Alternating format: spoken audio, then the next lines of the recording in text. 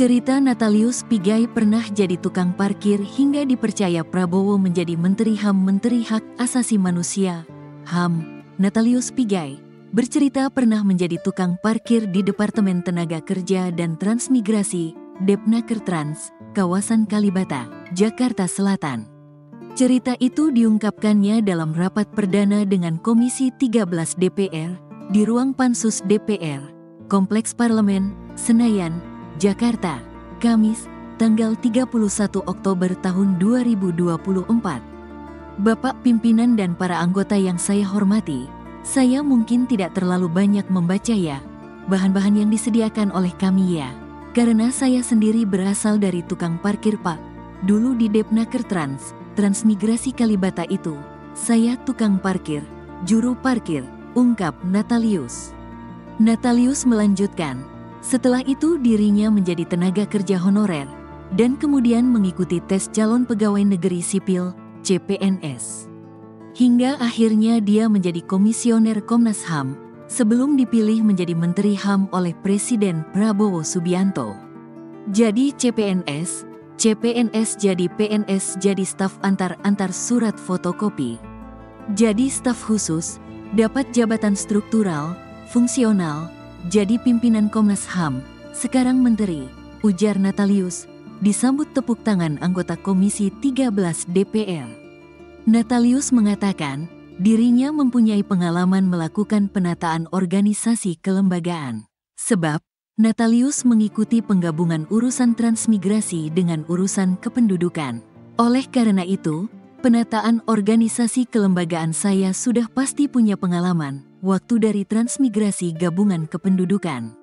Transmigrasi gabung dengan Depnaker. Penataan organisasi sudah merupakan bagian dari pekerjaan pribadi saya, tandasnya.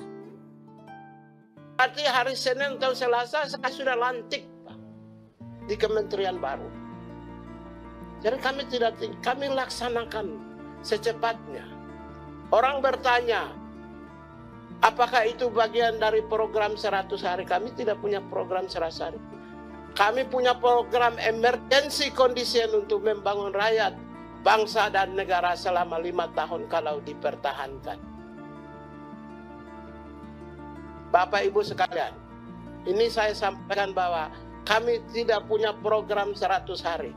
Andaikan kalau saya menyatakan program 100 hari adalah tata laksana revitalisasi organisasi dan pembangunan organisasi dan pengisian staf.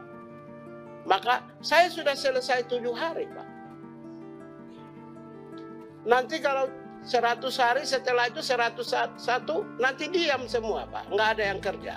Oleh karena itulah saya menempatkan lima tahun sebagai kondisi emergensi dan pasukan saya harus siap melayani kebutuhan-kebutuhan rakyat semuanya sebagaimana tugas yang diberikan kepada kami. Dan adapun saya singkat saja berdasarkan uh, rancangan kami Bapak pimpinan dan pimpinan uh, Dep, uh, Komisi 13 sudah tahulah. Satu program aja yang saya ingin sampaikan. Saya mau membumikan hak asasi manusia di antara Nusantara saya mau membumikan. Karena program HAM itu adalah program yang menyentuh individu langsung. Berarti program yang menyentuh 280 juta orang. Merubah mindset.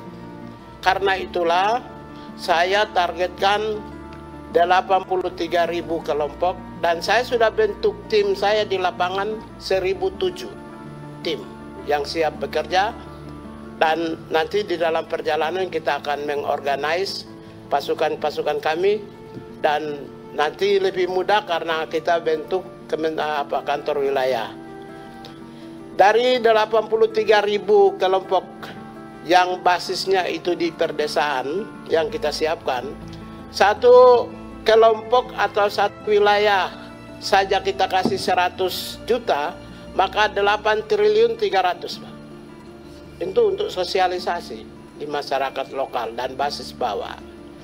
8 triliun 300 untuk mencapai 20 triliun Saya punya lebih dari 200 program yang tidak perlu saya sebut. Baru satu program saja sudah 8 triliun 300. Andaikan dengan gaji dan tunjangan yang saya, tadi saya sebut 1,3 triliun maka sudah 9,5 triliun. Belum lagi belum lagi program-program yang lebih dari 100-200 program yang saya siapkan. Kalau Bapak pimpinan berkenan, saya bisa bikin lebih dari 1000 program. Terima kasih. Download Tribun X sekarang. Menghadirkan lokal menjadi Indonesia.